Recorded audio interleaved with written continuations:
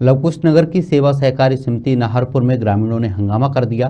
खाद की किल्लत से परेशान ग्रामीणों ने सड़क पर चक्का जाम कर दिया है, जिससे सड़क पर वाहनों की लंबी कतारें लग गईं। घटना की सूचना मिलने पर तहसीलदार नारायण कोरी ने मौके पर पहुंचकर ग्रामीणों को समझाइश देकर शांत कराया। ग्रामीणों ने आरोप लगाया कि नाहरपुर समिति प्रबंधक देवमाड़ी तिवारी खाद वितरण में धांधली कर रहे हैं। खाद की कालाबाजारी की वजह से ग्रामीणों को खाद नहीं मिल पा रहा है। समिति प्रबंधक खाली चेकों पर साइन कराकर ग्रामीणों को ठगने का काम कर रहे हैं। जहर सिंह नाम है साहब नाहरपुर की। नाहरपुर सोसाइटी है सिंगापुर में मुख्यालय है।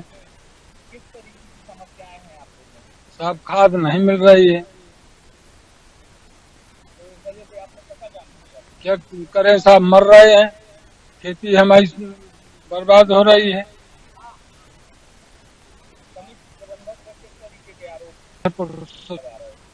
ये खाद लाता है और ब्लैक कर लेता है। कई जंग है डीएम गई, पर्ची रसीदें सब कटी रखी हैं। उनका ये कहना है कि खाद मिलेगी। जब आज के लिए कह रहे हैं कि आज आएगी सबका थोड़ा थोड़ा खाद मिलेगी। अब मिलती है नहीं मिलती है।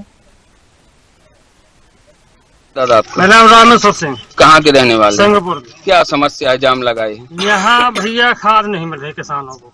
किसान आदमी परेशान है। एक तोला बोया नहीं। दो महीने पहले खाद आई। बेच ली कैसे बेच ली हमें पता नहीं है। अब किसान मारा मारा फिर रहा है।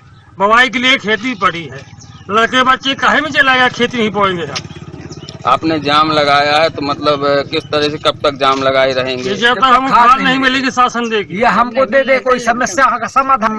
कई बार यहाँ चक्कर काटते काटते सोसाइटी खाद न मिलने के कारण इसलिए हमने ये चक्का जाम किया है। कलेक्टर से हमने बात की है टेलीफोन पे तहसीलदार से बात की है टेलीफोन पे।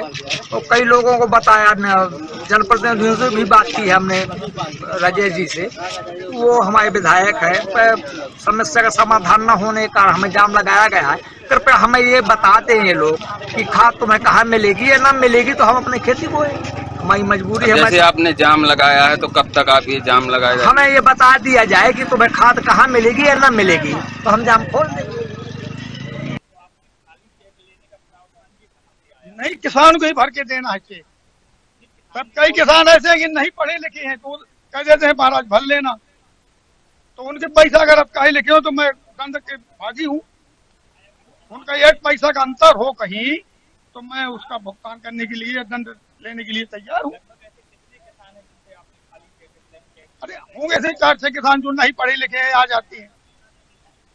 कई किसान को स्वयं भर के देना है चेक पैसे किसान होते हैं जो अनपढ़ हैं। अब जो हमारे तहसीलदार साहब महोदय निर्देश करेंगे, उस आधार पर हम बांट देंगे। आज सुबह सूचना प्राप्त हुई कि सिंगापुर सोसाइटी के सामने कुछ किसानों के द्वारा रास्ता रोक करके जाम खाद वितरण को लेकर के किया जा रहा है। हम लोगों ने मौके पर पहुंचकर किसानों से समिति प्रबंधक की चर्चा की, क्योंकि अभी समिति में हमारे यहाँ डीएपी उपलब्ध नहीं है, यूरिया उपलब्ध है। यूरिया लेने के लिए कोई भी किसान अभी मेरे समझ से तैयार नहीं हुआ, नहीं मैं वितरण तत्काल चालू करा देता। उस प्रक्रिया और बातचीत के दौरान आप लोग भी मौजूद थे। मैंने आते ही तत्काल बोला है कि जो भी हमारे पास स्टॉक उपलब्ध है, उसका वितरण हम तत्काल प्रारंभ करा देते हैं।